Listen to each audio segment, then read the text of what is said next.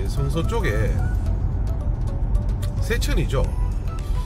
5차 산업단지가 들어옴으로써 아파트도 지어지고 주거단지가 형성이 되었는데 거기에 한 80평 규모 대지에 어, 가구수가 좀 가득 들어가 있어요. 가구수도 좀 들어가 있고 매매가가 한 12억 5천인가 정도 됩니다. 어, 인수가는 3억인데 월 수익이 꽤 괜찮게 나오는 매물도 같이 한번 소개시켜 드릴 겸 이렇게 넘어가고 있는 길이에요. 일단은 그 현장에서 또 뵐게요. 자 오늘 건물 현장 앞에 도착했습니다. 여기가 어디냐면 이제 세천지구입니다.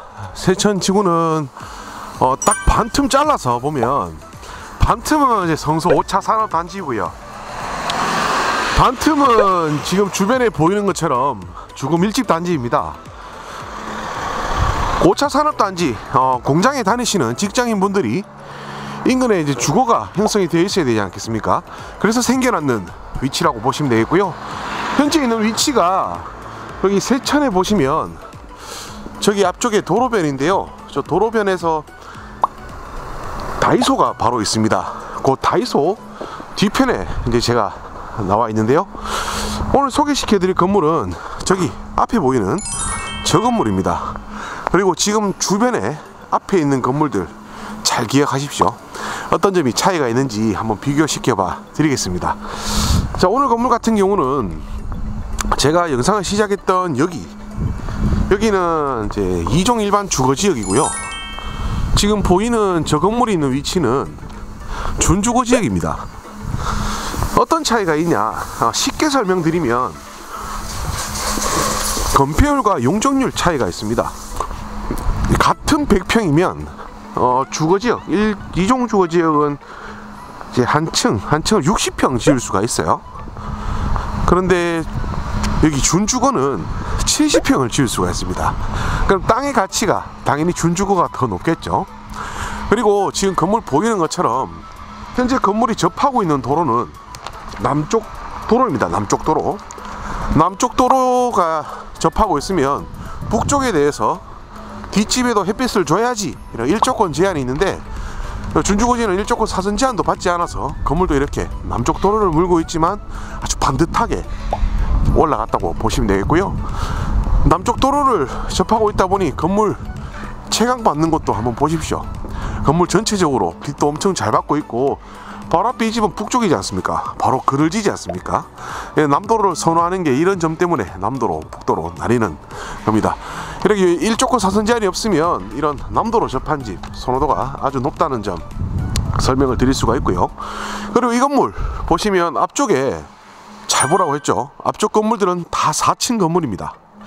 오늘 이 건물 5층 건물입니다. 매매 가격, 매매 가격도 비슷하지만 이 건물이 월세도 그렇고 수익률도 당연 훨씬 더 많다고 보시면 되겠습니다. 동네가 위치한 조건은 똑같아요. 세천지구에 있지만 가격이 똑같으면 뭘 선택하시겠습니까? 저는 당연히 주변 매물과 비교해보고 이 매물이 괜찮다 싶어서 이렇게 영상 촬영해서 시청하시는 분들에게 보여드리려고 나왔고요. 일단 이 건물 내용 제가 설명을 드리겠습니다. 상가 하나와 원룸 11개, two room 5개, three room 하나, 총 18가구입니다. 주차는 8대, 대지가 263제곱미터, 건물은 648제곱미터, 대지 구평수 환산시 79.6평, 건물 196평입니다. 2015년 6월 25일 날 준공이 났고요. 현재 건물 내 엘리베이터 설치가 되어 있습니다. 현재 건물 매매가 12억 5천, 대출은 4억 4천 있고요. 현재 만실 임대보증금 만실 시 4억 4천 8백만 원, 현재 인수가 3억대 인수 가능합니다. 3억 6천 2백만 원에 월 수익은 470만 원, 은행 이자 6.7% 적용을 했습니다. 은행 이자 제외하고 224만 원, 수익률 7.4% 남는 건물입니다. 이 건물 금리가 약 한 4%, 4%대 수익률 10% 나오는 건물이라고 설명을 덧붙이고 싶고요. 일단 건물 한번 둘러볼게요. 뭐 사실 건물이야 둘러볼 거 있겠습니까? 내용에서 건물 둘러보지 않고 끝났을 것 같은데 일단 그래도 한번 둘러볼게요. 지금 건물 전면은 이렇게 대리석으로 마감이 되어 있고요. 바로 내부로 들어가 보겠습니다. 자, 1층 내부로 들어왔고요. 엘리베이터 바로 설치되어 있습니다. 어, 이 주차장에서 진입을 해서 바로 들어오면 엘리베이터 탈 수 있도록 구조가 되어 있고요. 어, 2층으로 한번 올라가 볼게요. 2층은 하나, 둘, 셋, 네, 세 가구 현재 구성이 되어 있는데요. 여기 엘리베이터 내려서 바로 2층 원룸 두 개, 3룸 한 가구로 구성이 되어 있습니다. 그리고 이제 3층으로 올라가면 3층부터 4층은 동일한 세대 구성인데요. 가구 수가 하나, 둘, 셋, 넷, 다섯 가구 들어가 있는데요. 어, 원룸이 네 가구, 투룸이 한 가구 있는 구조로 이렇게 다섯 가구 풀옵션 구조로 들어가 있습니다. 이렇게 해서 이제 4층, 5층 동일하고 6층 또 6층으로 올라가고 위에 옥상에 올라가서 주변 환경도 같이 한번 정리를 해드릴게요. 자 이렇게 6층으로 올라왔습니다. 6층은 원룸 두 개와 투룸 두 가구로 이렇게 복도가 구성이 되어 있고요. 현재는 뭐 공실 없이 임차인 다 들어가 있고요. 제가 올라오니까 여기 또 젊은 분이 출근하시는지 나오시더라고요. 자 옥상으로 한번 올라가 보겠습니다. 어, 빨래도 넣는 거 보니까 뭐 애기 키우는 집도 있는 것 같고요 이렇게 빨리 넣어놓은 거 보니까 사람 사는 집 사람 사는 냄새 나는 것 같아요. 자 옥상에 올라왔고요. 자 저기 앞이 제가 영상을 시작했던 도로변이죠. 어 전부 다 이제 다가구 주택이 형성이 되어 있고 그 뒤편으로는 아파트들로 둘러싸여져 있습니다. 그리고 본 건물에서 이제 서쪽 방면으로 성서 5차 산업단지가 있습니다.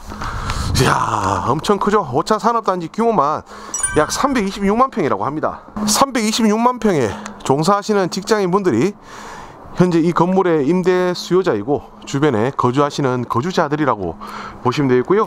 현 건물에서 어, 지하철 2호선 다사역까지 야간 1.5km 그리고 건물 뒤편으로 여기 또 북다사 IC가 개통이 되어 있지 않습니까?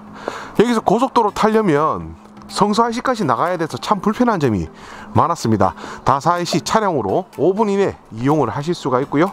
그리고 현재 이, 여기가 여기 아파트 단지가 이렇게 많은데 교통이 참 불편하다.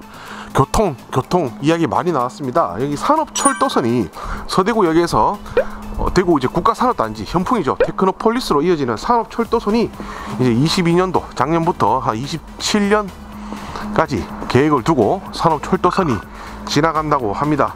이 사업 규모만 해도 한 1조 4천억 원이 들어가는 엄청난 국가 광역 철도 사업인데요. 그렇게 되면 여기 거주하시는 분들도 역을 또 좀 더 다사역까지 나가지 않고 좀 더 편하게 역을 이용을 할 수 있는 위치라고 보시면 되겠습니다.